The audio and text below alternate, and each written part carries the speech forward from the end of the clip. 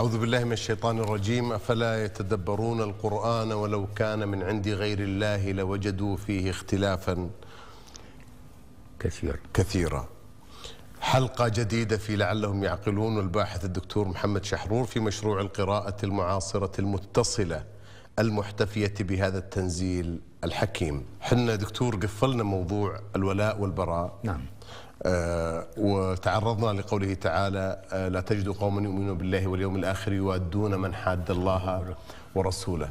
بس أبي أثني بالآية الكريمة اللي في سورة الأعراف يا أيها الذين آمنوا لا تتخذوا اليهود والنصارى والنصارى أولياء. بعضهم أولياء بعض. نعم. ومن يتولهم منكم فإنه منهم. منهم. إن الله لا يهدي القوم الظالمين. نعم. فترى الذين في قلوبهم مرض يسارعون فيهم يقولون نخشى أن تصيبنا دائرة. طيب ألا تصب هذه ال- الآية في آه، تأكيد المفهوم السائد الولاء والبراء أبداً. على الإطلاق. ابدا. آه آه قال تعالى أطيعوا الله وأطيعوا الرسول. طيب. و- وأولي الأمر منكم. وش علاقة هذا بالولاء والبراء ال- أولي الأمر هم المشرعون. يعني لا تاخذوا شرائع اليهود والنصارى وتطبقوها يعني يا يعني أيها عم الذين آمنوا ما يحكي على أشخاص. آه. يا أيها الذين آمنوا لا تتخذوا اليهود والنصارى أولياء. أولياء. بمعنى أنه يعني لا عم- تحتكموا إلى شريعتهم لا وإلى قوانينهم. لكن أولي أولياء هم التشريع التشريع. يعني المقصود بلا تتخذوا اليهود والنصارى من أولياء هم أولي الأمر منا. طيب أولي الأمر منكم. ماشي؟ أها. أولي الأمر منكم. يعني لا نروح لأولي الأمر منهم. ابدا. أولي الأمر منهم يعني أنت إذا شرائعهم ما بتناسبك لا تأخذها. ما لهم علاقة الأشخاص؟ ما عم يحكي على اشخاص عم يحكي يعني أنا مثلا بالطريق بيوقف آه بيوقف آه آه شرطي. شرطي شرطي لابس يونيفورم. يعني هذا أنا بحترمه وبوقف له. لأنه هو بيحترمني. أنا إذا قال لي وقف أقف لأنني أنا أطيع القانون. إذا الشرطي حامل مسدس مو لأنه حامل مسدس أنا بطيعه. صح ممكن ما يكون حامل مسدس ممكن ما. يكون حامل مسدس. صح. بس بطيعه لأنه يمثل القانون. القانون. هذا معناتها إنه السلطة التنفيذية لا يحق لها أن تشرع اطلاقا. لا يحق لها أن تشرع؟ اطلاقا. وش معنى تشرع؟ آه. يعني التنفيذية. التنفيذية. واللي تشرع؟ السلطه التشريعية فقط. التشريعية. وبده يكون ما في علاقة بده يكون منفصلين عن بعضهم تمام. والسلطة التنفيذية لا والسلطة التشريعية لا يحق لها يكون عندها عنف ما في عنف عندها. ما يعني عندها بوليس ولا عندها آه، يعني هو طيب.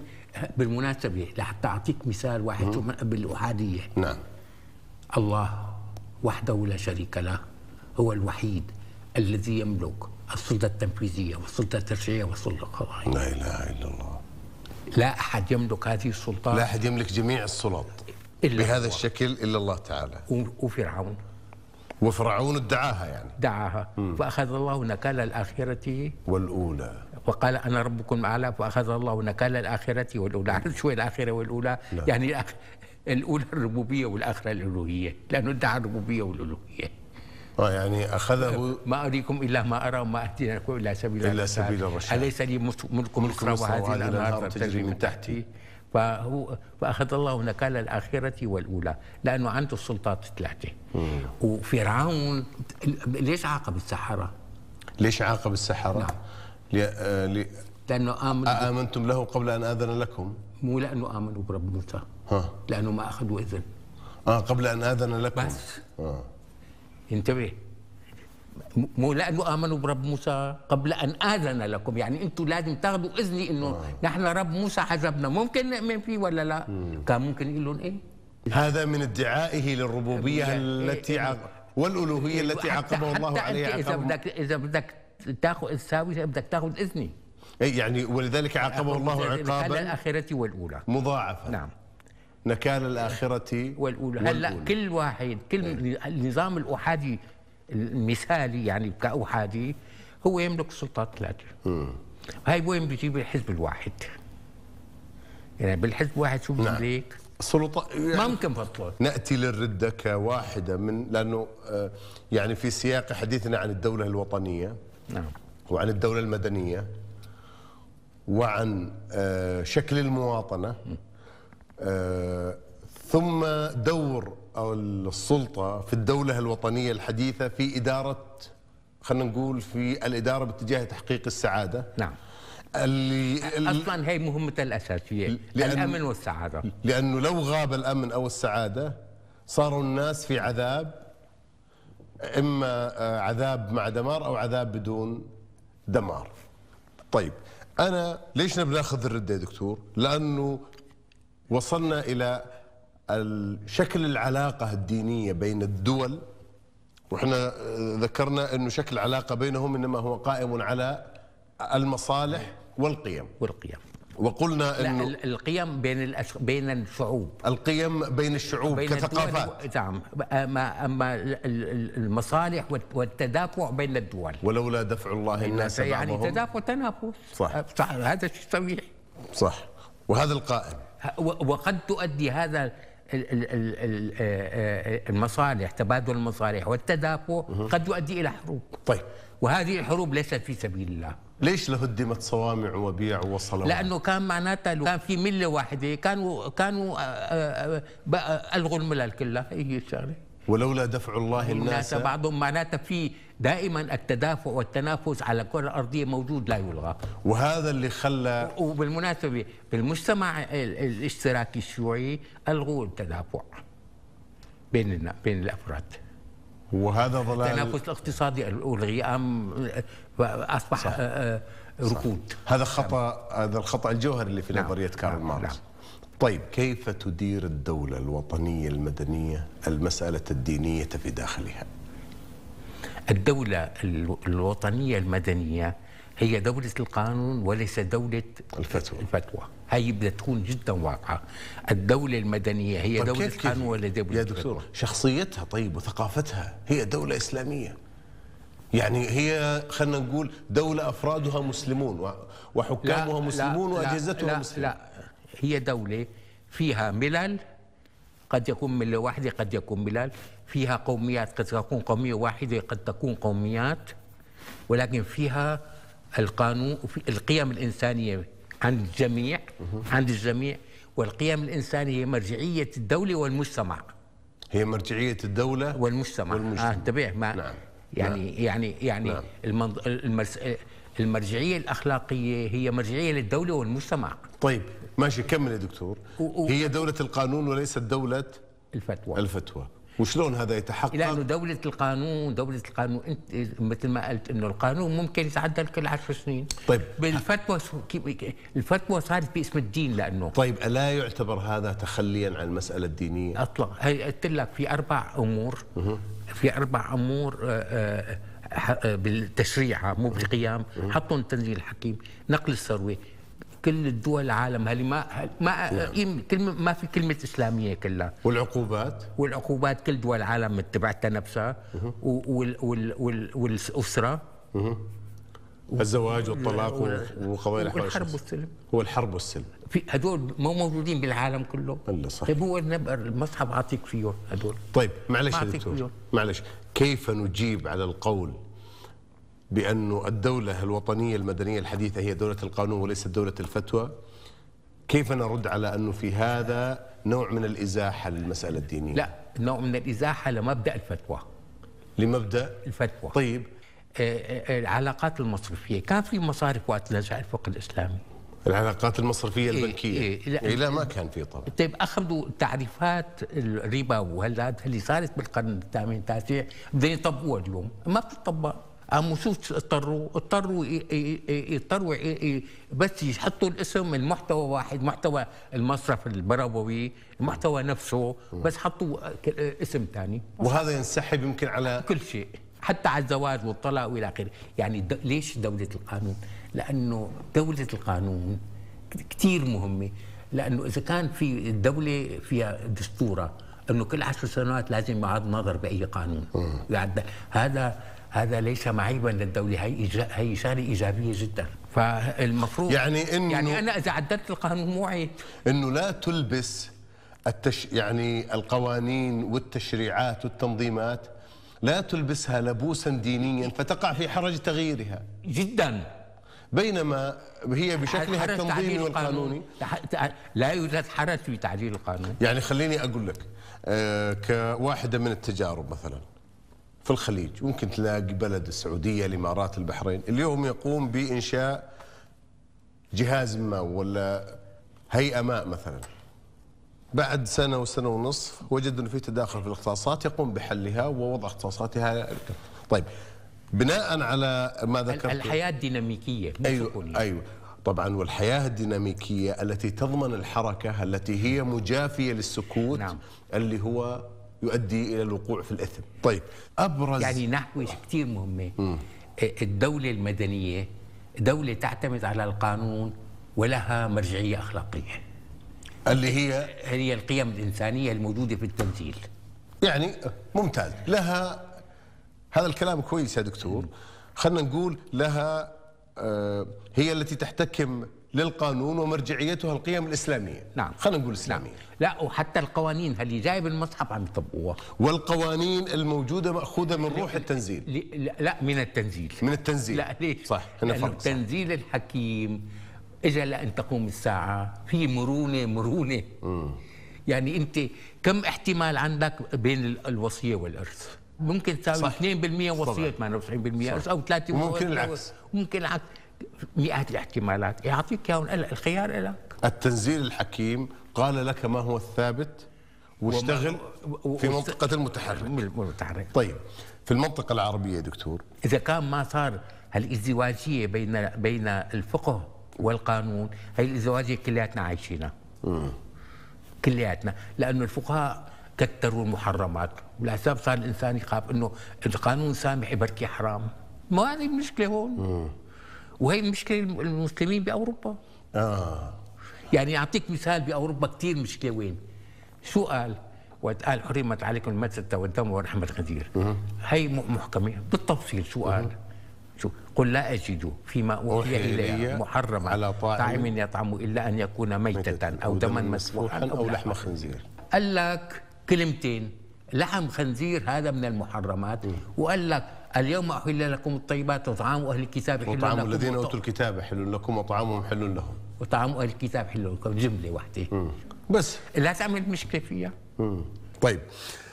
آه في موضوع يمكن هاي تتكرر في المنطقة العربية كثير حتى يعني في العالم الإسلامي. في موضوع إدارة الدولة المدنية للمسألة الدينية. يبرز موضوع حرية الآراء الدينية. وأبرز محاورها أو ملفاتها أو عناوينها موضوع الردة. طيب. خلني أباخذه بعد الفاصل دكتور.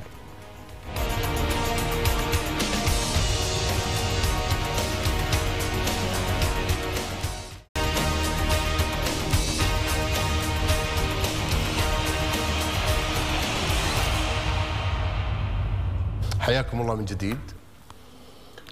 آه، موضوع الردة آه، آه، هون بدنا ناخذ الردة عن الدين كما جاءت في التنزيل الحكيم أي. والردة كما فهموها بالتراث كما هي قائمة في التراث. آه، آه، آه، أمر مختلف تماما. ومفهوم الردة التاريخي الموجود في كل بلاد العالم موجود لليوم.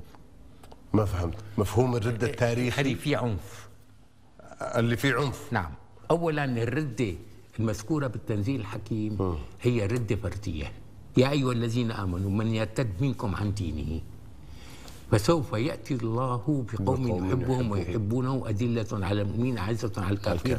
يجاهدون في سبيل الله ولا يخافون لومة لائم. ذلك فضل الله يؤتيه من يشاء والله واسع عليم طيب هذا عم يحكي عن الرده في اعدام هون فيها إيش؟ إعدام فيه لا حتى ما فيها عقوبة يعني يعني عقوبته بالآخرة يعني شو العقوبة طيب. لأيلا وش معنى من يرتد منكم عن دينه؟ آه. يخلع بيعة الإسلام من لا عنقه بهذا لا. مثال واضح. آه الله يرحمه جمال البنا ذكر أسماء حتى وقت حكى عن الفرديه جمال البنا. نعم. الفقيه آه، والمفكر آه، المصري اللي. توفي من ثلاث سنين. نعم سنة 13 2013 رحمه الله كان من من المجددين. ذكر أسماء ناس هاجروا من مكة على المدينة مع الرسول عليه الصلاة والسلام. وارتدوا ورجعوا على مكة. لا ارتدوا يعني تركوا النبي إنه ما عاد بدنا أيوه ارتدوا عن الهجرة ولا لا ارتدوا ارتد عن عن الدين ورجعوا لل- رجعوا لقريش آه، آه، آه، أشركوا يعني رجعوا لقومهم ما النبي عليه الصلاة والسلام فتح مكة ما سأل ما سأل وينهم؟ طيب. يعني ليش؟ ليش؟ وقت قال لك لا إكراه في الدين. قد تبين الرشد من الغي. قبل الإيمان بالله حط اول فمن يكفر بالطاغوت ويؤمن بالله. يعني حط كفر بالطاغوت قبل الإيمان بالله. وش معنى الطاغوت؟ الطغيان. هل الطغيان المستمر في كل الأمور في كل شيء؟ لحظة كيف؟ هو من يعني الطاغوت مش مشخص؟ إيه الطغيان بقى بكل أنواعه لأنه هذا آه. لأنه الطغيان ما في شكل واحد ولا في وقت في طغيان ووقت ما في طغيان، الطغيان م- ظاهرة موجودة مستمرة، على صح. طول مستمرة. آه، حطا بلا إكراه في الدين. حط كفر بالطغيان والإيمان بالله العروه الوثقى. أن من يؤمن بالله فقد يجب استمع. أن يكفر بال- بالإكراه. هيك جاي الايه لا إكراه في الدين. ما ان من بنفس الآية. أن من يؤمن بالله يجب أن يكفر بالإكراه. اولا. لا لا اولا. حتى قبل يؤمن بالله. حتى ومن يكفر بالطاغوت ويؤمن بالله. شوف التحضر. شو شوف شو- العالمية. شو العروه الوثقى؟ هي عرفت العروه الوثقى؟ إنه هي إنه هذا رابط لا يمكن فكه اللي هو بين بين الك- الكفر بالطاغوت والإيمان بالله يعني لكي بي- يعني بين اللا إكراه والإيمان بالله هي عروه لا تنفصل عروة وثقى وث- لا تنفصل لا اكراه في الدين قد تبين رشد لا سبب هذا اللي يعني بأنها هي ولا سبب الفطر بال بال بال بالمجتمع في مؤمن وفي ملحد وكذا بس المؤمن بده يحترم الملحد والملحد بده يحترم المؤمن.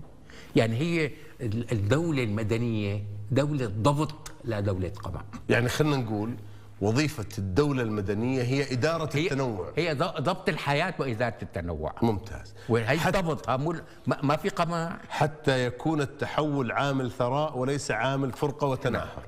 لا هي هذا والنبي عليه الصلاة والسلام الرده الفردية صارت في زمانه وما وما عاقب أحد. طيب المعنى اللي قررناه في هلا حكو- حروب الرده مم. لا أنا يعني خلينا قبل حروب الردة لأن حروب لا الردة في شغلة ثانية اسمها الاستهزاء. لا نبي نجي للاستهزاء. لكن حروب الردة هي صارت بعد النبي عليه الصلاة والسلام. وربما أنها من الردة الجماعية. أيوة. طيب لكن في موضوع الردة الفردية الآن اللي شائع بالفقه ما في واحد يجي ويقول أنا مرتد. يعني قليل. يعني غالبا الردة هي تخريج من قبل سلطة فقهية ما صح؟ وراح أجيب لك الأمثلة بال- بالحياة تماما. آه، أول شيء ب- بالردة آه، آه، الردة اللي فيها قتل هي بالضرورة لها معنى سياسي لها معنى؟ لسبب ظهرت بعد رسول الله. آه يعني هي ليس شيء من التنزيل حكي. لا لا لا ما لها علاقة. وحتى أبو بكر استعملها وله حق باستعمالها. وله حق في استعمالها هلا بجيب لك ليش؟ بالرده الجماعية. آه آه آه كثير نحن بدنا نكون واضحين جدا بمفهوم الوعي السياسي في عهد النبي عليه الصلاة والسلام. ما في شيء اسمه وعي سياسي. إلا. عندنا يعني أنا بدي عم خاطب الناس نعم. إنه في يعني هلأ الوعي السياسي بإنجلترا. إنه هل بده يصير رئيس وزراء بريطانيا بوعيه بده يدخل بحزب العمال أو المحافظين مثلا. وبده يصل لزعامه الحزب. وعايز يدخل حزب الانتخابات وياخذ الأكثرية. بصير رئيس وزراء. إيه طب. ها- في غير هيك؟ يعني هل بده لا مو في غير هيك. يعني هذا وعي سياسي. هذه من الضروريات اللي يجب أنها تكون في ذهنه. أيوه ما ممكن تكون غير هيك صح بذهنه صح. آه، وإذا قرر بده يمسك في هالطريق نعم. سيدي رسول الله ظهر في مكة. ظهر في مكة. بعث نعم. ودعا إلى وحدانية الله. نعم. وظل يدعو في مكة 13 سنة. 13 عام نعم. وفي ناس معه ضد وقت اجى على المدينة بدي بتأسيس دولة. بتأسيس يعني دولة. دولة. طيب. ومع هذا الشنا وإجا- عصر المدن. وإجا- وإجا- ودشن عصر المدن واجى التشريع وإلى آخره. يعني عندما توفي رسول الله كان مؤسس دولة. كان مؤسسا؟ كانت دولة مؤسسة. مؤسسة. نعم. وما أعطى شكل الحكم لأنه نبي. وما أعطى شكل الحكم لأنه صحيح. نبي. طب معناتها هالطريقة هي إنه شافوا الرسول كيف بدي لا كيف توفى. شو شو منط... شو موقعه هو بدي وشو موقعه وقت توفى دخل في وعي الناس جيل النبي وجيل اللي بعده. آه. دخل في عن إنه اللي بده يصير رئيس دولة بده يصير نبي. إجت بعد وفاة الرسول ادعاء النبوة. آه صح. وضحت؟ للبحث عن السيادة لا، والزعامة بالضبط نعم. هي سبب ادعاء النبوة طيب هو سبب سياسي بحت طيب السبب الثاني ليش حاربهم؟ لأنه وقت ادعى النبوة من اللي ليش حاربهم؟ ابو بكر الصديق لماذا حارب المرتدين؟ نعم حرب المرتزقة لأنه صار كل واحد يساوي دولة لحاله سياسي 100% لكن الجانب الملفت يا دكتور أنه على المستوى التاريخي وعلى مستوى حماية الدولة كان ما قام به أبو بكر الصديق رضي الله عنه كان حقا وضرورة وواجبا. تماما. قلده في ذلك ابراهام لينكولن. ابراهام لينكولن كان انتبه كان بده يلغي الرق يعني كان عنده هدف نبيل جدا. نعم. وقت بده يلغي الرق قام الجنوب انفصل. قام ساوى حرب اهليه راح فيها مليون. وبيعتبره هو المؤسس الثاني للولايات المتحدة صحيح. الأمريكية ابراهام لينكولن يعني من أعظم رؤساء أمريكا صح. جورج واشنطن وابراهام لينكولن صح. إيه هو ساوى حرب أهلية هو الرده يعني ناس انفصلوا بدهم يساووا دولة لحالهم قاموا منعهم وس- وسبب منعهم كان نبيل سبب سياسي بحت هذا. هذا هذا هذا. هذا هذا هذا تماما آه، أخذ يعني هو إن- اندرى بحروب أبو بكر ولا ما درى بس هو ذات النموذج. ذات ذات النموذج.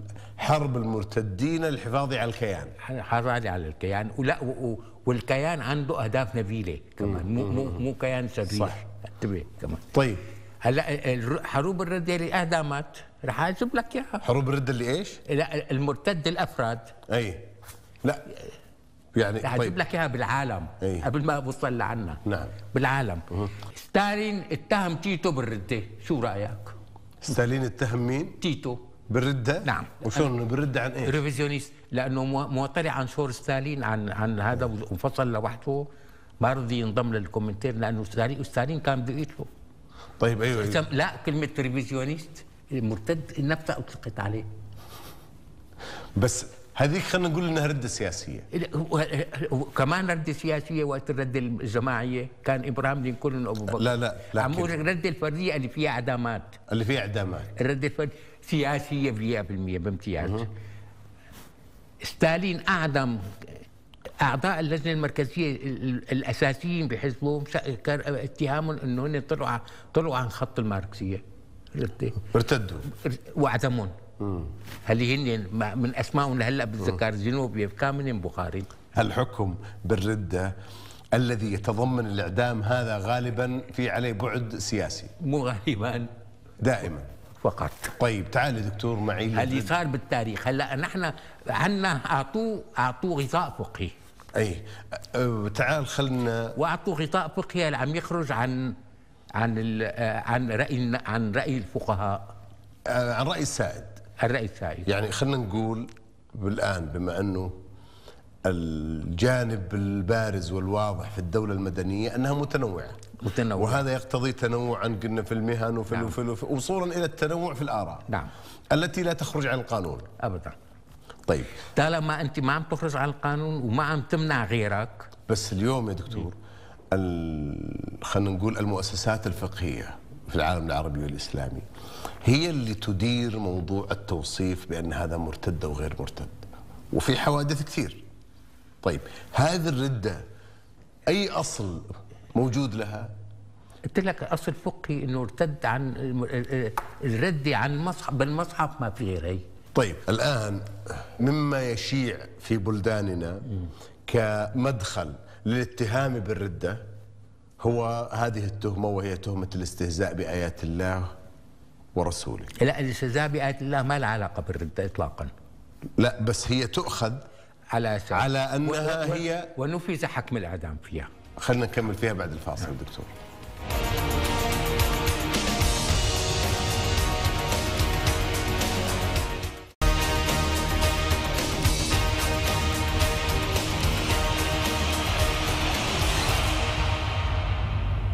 حياكم الله من جديد. يعني حتى لما جينا نحكي يا دكتور عن التكفير واضح في قوله تعالى ولئن سألتهم ليقولن إنما كنا نخوض ونلعب. نعم. قل أب الله وآياته ورسله كنتم تستهزئون. هذه آية لا تعتذروا قد كفرتم بعد إيمانكم إن نعفو عن طائفة منكم نعذب طائفة بأنهم كانوا مجرمين. وش معنى أولا الاستهزاء؟ أها. وقد نزل عليكم في الكتاب أن إذا سمعتم آيات الله يكفر بها ويستهزأ بها. يعني في يكفر ويستهزأ بها. فلا تقعدوا معهم حتى يأخذوا في حديث غيره. إنكم إذا مثلهم. إن الله جامع المنافقين والكافرين في جهنم جميعا. يكفر يكفر بها ويستهزأ. يكفر بها الكافرين ويستهزأ بها المنافقين. المنافقين. نعم. أعطيك مثال تماما على على الاستهزاء بها. الأديب الكاتب الأردني ناهض حتر. ناهض؟ حتر. حتر اي آه، قتل. اي لأنه حط حط الكاريكاتير نعم حط كاريكاتير. والكاريكاتير مو هو حطه مأخوذ من موقع ثاني بس هذاك صاحبه مجهول. نعم. أخذوا من- من الكاريكاتور نعم. وحطوا هذا تماما ينطبق عليه يستهزأ بها. يعني حط كاريكاتور الحور العين في اثنين حور عين وعم بس هذا ما يجوز دكتور. هي استهزاء. ها؟ كاريكاتور هي إيه، استهزاء. هذا استهزاء بالله. آه، استهزاء بآيات الله. عم هيك يستهزئ بالحور العين وبالجنة وبهالأمور هي كلها. تو مني؟ شو أعطاك عقوبته؟ أعطاك عقوبة بس مو عقوبة الدولة مو عقوبة السلطة. ها. اعطاك عقوبة اجتماعية. كيف طيب؟ مين ينفذها؟ فلا تقعدوا معهم حتى يخوضوا في حديث غيره فلا. بس طيب هذا كيف تنفذ؟ مين ينفذها يعني؟ المجتمع. يعني هذا رسم هدول. آه، بيجي جيرانه والأهالي إنه أخي لا تسلموا عليه و- ويفوت على المحل ما بيبيعه يعني عقوبة اجتماعية. عم يقول له إذا أنتم شفتوه استهزأ فيها طيب قاطعوه أما إذا عم عم يقول لهم ساووا عقوبة اجتماعية لحتى ما يدخل السلطة. ما يدخل أداة الإكراه. إنه لأنه أنت إذا آه. كان لأنه إذا تدخلت أداة الإكراه ستقع في لا إكراه في الدين. طبعا. بس أنت إذا كان المجتمع قاطعه كل منظمات حقوق الإنسان بتقدر تحكي شيء. ولا ولا شيء. ولا لا، شيء. ولا شيء. إنه أنا جاره ما عاد يسلم عليه صح. وبياع بيروح على المحل ما ببيعه وهذا بعدين يعني بعزله. بس. حتى مو مو طول حياته حتى يعتذر. يعني يخوض في حدا يقول أنا خلاص انتبهت معك بدي بس بالمناسبة آه، فرج فودة يقال. فرج يصير؟ إنه فرج. اللي قتلوا قريت كتبه قام قال له لا. لا والقصة تقال أيضا على من حاول اغتيال نجيب محفوظ. نعم إنه قريت قال له أولاد حارتنا قال له طيب قريت ولاد حارتنا قال له له طيب. لكن ما تشوف يا دكتور أنه المنطقة الآن كلها لا على مستوى الوعي نحن نحن في خوض إيه. في مخاض عفوا. ننتقل من دولة ال- ال- القرية؟ من القرية إلى المدينة. هالإزدواجية بدها تلتغى لكن حتى الإرث نحطه بقانون. حتى الزواج والطلاق مفهوم مقننه لكن خلني يعني أقول لك مثلا في زي هذا الواقع الحالي. ما تشوف الآن إنه ربما قد لا تتكرر مستقبلا مثل هذه الحوادث. يعني صار في وعي. عام. حصلت هذه الحوادث لكي يحصل هذا الوعي. لولا لما تحصل هذه الحوادث كنا ما وعينا. يعني شوف النموذج اللي سوته داعش مثلا. النموذج الفقهي البيور. ما الذي صنعته في الوجدان العام تجاه التشدد؟ هز... صارت هزه شديدة. يعني إذا كان إنسان نائم نوم شديد بدك تعطيه ساعة ما بتصير منبه للساعه إلا. طيب منبه مشان إيش؟ استيقظ. مشان إذا كان نوم قوي بده منبه قوي. هي المنبهات. يعني كل هالحروب اللي صارت هلأ والأحداث ضمن قانون التاريخ. ضمن قانون التاريخ. ابدا أن الأحادية اللي ضمن هي قانون ضمن قانون التاريخ. ما طلعت عن قانون التاريخ ابدا. مع كل الضحايا من كل الأطراف بس ضمن قانون وما من قرية. إلا ونحن مجوع قبل يوم الا, إلا ونحن يغرفوها قبل يوم القيامة. أو, أو معذبوها عذابا شديدا. كان ذلك في الكتاب. مسطورة. مسطورة. فهذه ال- الشيء هو عملية رفض الأحادية مهما كان نوعها. يعني أحادية دينية أو أحادية لا دينية. يعني جبت لك مثال. الأحاديات اللا دينية الاتحاد السوفيتي الأحاديات الدينية ال- ال- ولي الفقيه وكانت والأحادية آه، اللي لا دينية مثل صدام وسوريا و- وليبيا. خلني بأخذ فاصل دكتور. تفضلوا شباب.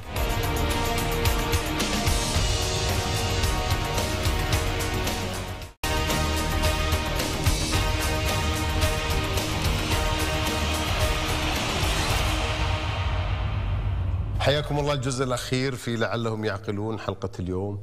طيب الآن آه ما الذي؟ الإعدام أي. هو كما نزل في التنزيل الحكيم هو للنفس بالنفس أو ال- إ- إ- إ- الحرابة. ارتكاب المحرمات. لا حتى يعرفوا الحرابه شوية. ارتكاب المحرمات باستخدام العنف. باستخدام العنف. هذه اللي فيها القتل. هل قد تصل للاعدام هذه قد تصل للإعدام طبعا لأنه طيب. في احتمال النفي وفي السجن طيب إحنا حكينا الآن يا دكتور قلنا كيف تدير الدولة المسألة الدينية داخليا؟ كيف تدير الدولة المسألة الدينية خارجيا؟ خارجيا ما في ما في مسألة دينية خارجيا. مسألة الخارج أنت علاق علاقة بالدول مصالح. هي علاقة مصالح وتنافس. وتنافس. فقط. اللي هو التدافع. تبافع يعني علاقة مصالح وتدافع. طيب. أنت بهالحالة عم هذا قانون رب العالمين موجود شئت أم أبيت. طيب هل هذا يفسر يا دكتور أنه هل نستطيع أن نقول أن الدولة العربية الحديثة أو الدولة العربية الوطنية التي في طريقها لمزيد في طريقها إلى إلى أن تكتمل تكون مدنية. إلى اكتمال المدنية صح في طريقها. أي هي أكثر وعيا من الدوائر الفقهية. بدون أي شك. بدون أي شك. طيب. هذا أنا أنا أقولها وأنا مش مطمئن 100% و- و- ولاحظ سيدي رسول الله في شغلة كثير ما ما انتبهوا عليها. أي. ناس يعني وقت بالسيرة ما في شغلة كثير بيقولوها هيك يعني. عرضاً. ما إيوه ما رسول الله فتح مكة. كسر الأصنام بالكعبة. أزالها. زالة صح ولا مو صح؟ مضبوط طيب. وبعت الناس قال لهم وين في أصنام؟ زيلوها حصل هالشيء ولا ما حصل؟ هيك كلهم.